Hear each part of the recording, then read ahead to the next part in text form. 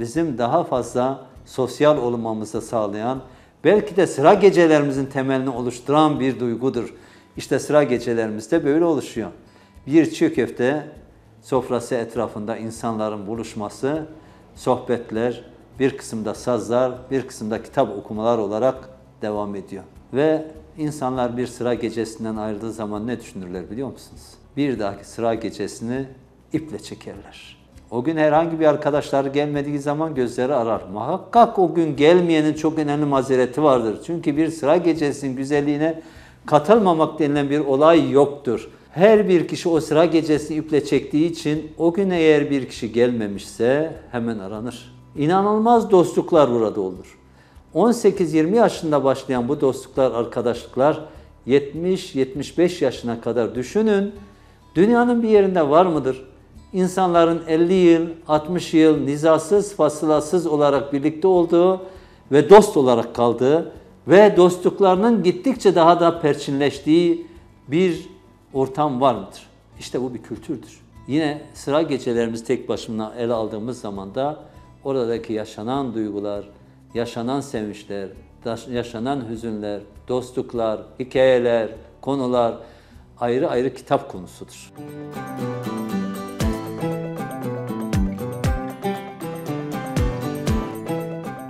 Patlıcan kebap aslında bir ustalık. Çünkü onun patlıcanı çok özeldir. Eti çok özeldir. Pişirmesi çok özeldir. Efendim koyduğun zaman mangalda o etlerin düşmemesi çok önemlidir. Bir patlıcanın nasıl bir lezzet bulduğunu anlamak istiyorsanız işte onu patlıcanlı kebapta görebilirsiniz. Başka hiçbir yerde patlıcan ben bu kadar lezzetliyim diyemez.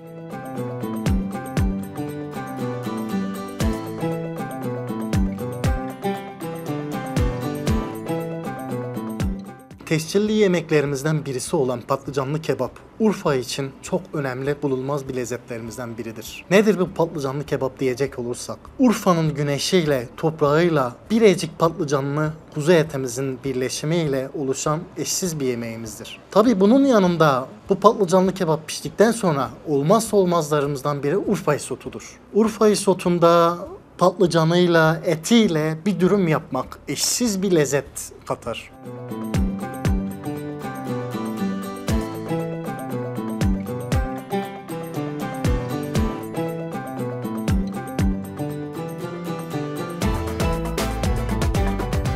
Patlıcan kebabımızı yaparken ilk aşamasında patlıcanımın tercihini Birecik'ten yaparız.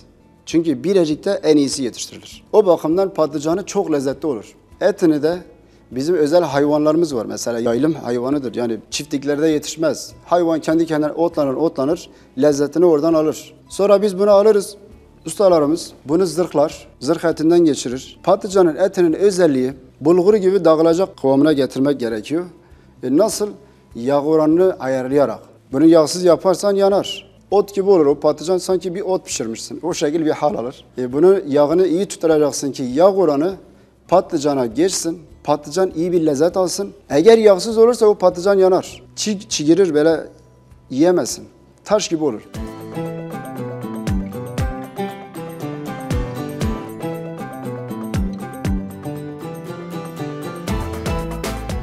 Şanlıurfa patlıcan kebabımızı e, Birecik bölgesinde yetişen patlıcanlarımızdan özel olarak seçtiğimiz patlıcandır. Olmazsa olmazımızdır. Tescillenen bir ürünümüzdür. Bunu belli bir mevsimi vardır. Yaz aylarında yetiştirilir. Bunun erkek toklu eti olması lazım. Daha sonra e, zırhlıyoruz bu eti. Bulgur bulgur olması için, daha güzel lezzet verebilmesi için tuzunu veriyoruz. Daha sonra tekrar zırhlamaya devam ediyoruz.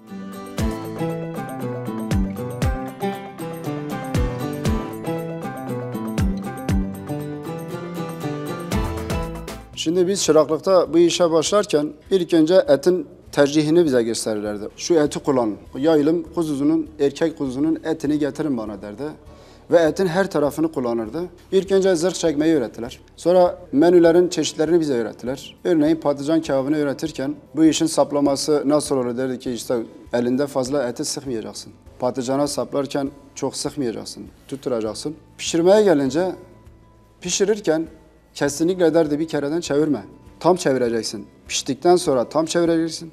Sonra bir sol bir, bir, bir sağ o şekilde pişireceksin. Ateşimize gelince patlıcanın ateşi kısık olursa o patlıcanın yağı da özelliği de ne olursa ölür. Biraz gür olacak. Ateşi gür olacak ki çiğ girmesin. Onun sırrı oradadır. Çok çevirmeyeceksin, dökülmesin. Patlıcan tercihini yaparken çok kırmızı olmayacak. Tohumlu olur, acı olur. Yaptığın et de, hizmet de hepsi boşa gider. E, bunu bize öğretirlerdi. Çok yerlemeyeceksin. Kendi halinde pişecek. Dinlene dinlene. Ve piştikten sonra özellikle patlıcan dinlendirilmeden yenilmeyecek. Dinlendirilmeden yersen o patlıcan sana ot gibi gelir. Dinlendirdiğin zaman özelliği kendi yağını sarıyor böyle bütünleşiyor, özleşiyor. O şekilde yani. Bu iş meşakkatliydi. Biz çok zorluk gördük.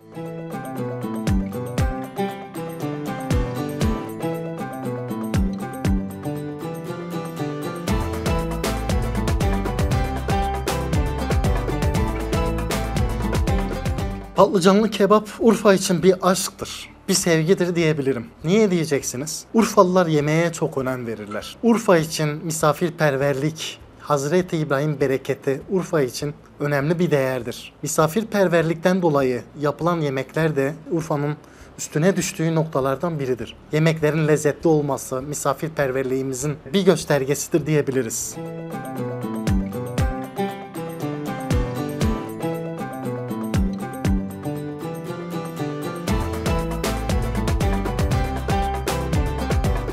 Efendim aslında bu bizim bir sabah kahvaltı çeşitimizdir. Hepimiz yeriz bunu. Dikkat ederseniz bu patlıcan fırında pişer, biber, isot dediğimiz şey fırında pişer. Bazen de domates satarlar yanında.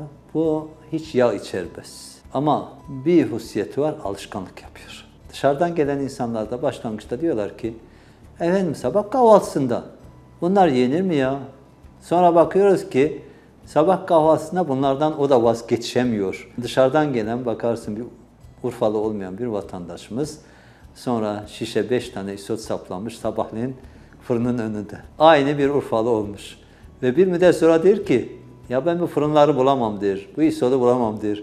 Aman der Urfa'dan ayrılmayayım. İşte Urfa'nın bu kültürü, şu gastronomisi, tarihi öyle güzel ki Urfalılarda bir deyim gelişti. Gelen ağlar, giden ağlar. Uzaktan bakan kişi, efendim ben Urfa'ya gidiyorum. Bu şehir çok uzak bir şehir. Kafasında farklı bir tasavvur vardır. Ama geldiği zaman bu gastronomi derinliği içerisine, bu kültür derinliği içerisine, sohbet derinliği içerisine düştüğünde gitmek istemez. Bir gün tayini çıktığında evet işte o zaman gözyaşını tutamaz. Biz burada gözyaşını tutamayıp ağlayan çok insan yolcu ettik. Şimdi patlıcan Urfa'nın gerçekten fakir yemeğidir. Öyle başladı. Yalnız öyle başlarken de bir patlıcan, bir isot deyip geçmemek lazım. Gerçekten yani ben bir Urfalı olarak Urfa'da patlıcanı, biberi yemezsem benim önüme kavurma bile koysalar, baklava bile koysalar ben yemem, onu yerim kahvaltıda. Öğle yemeklerden misafirlerimize patlıcan kebabı tercih ederiz. Akşam yemeklerinde bunun sulu yemeklerini tercih ederiz. Özel davetiyelerde misafirlerimizin olmasında bu işin yani daha çeşitlerini çoğaltıp bu şekilde bir yemek hazırlarız yani. Yemeğimizin vazgeçilmezi patlıcandır. Patlıcan nedir? Patlıcan deyip geçmemek lazım. Patlıcanımız süt gibidir. Yağı akar. Bunun sökülmesini yaparsın kahvaltıda yağlı yağlı böyle lezzetli olur. Tohumsuzdur. Süt gibidir. Çünkü ata tohumumuzdan gelmedir. Yöresel bir e, tohumdan yetiştirilir. El emeği var bunda.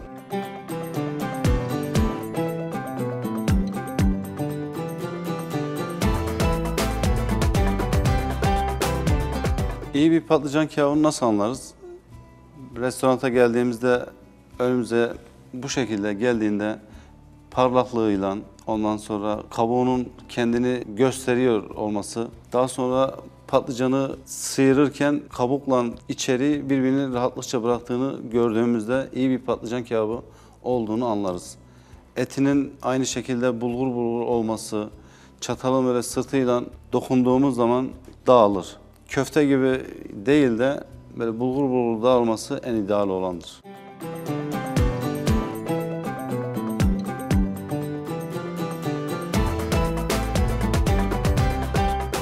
Tam kıvamını verdikten sonra zırh yağını mağını oranı ay- ayarladım.